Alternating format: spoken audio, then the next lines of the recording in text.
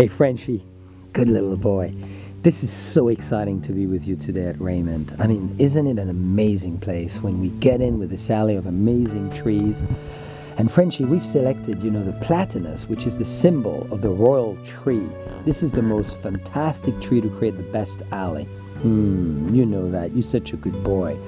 You know, like in Versailles, like in all the big chateaus of Europe, this is typically that. We wanted at Raymond, as you know, Frenchie, to create the most amazing experience, education, and as well, the most fabulous wines.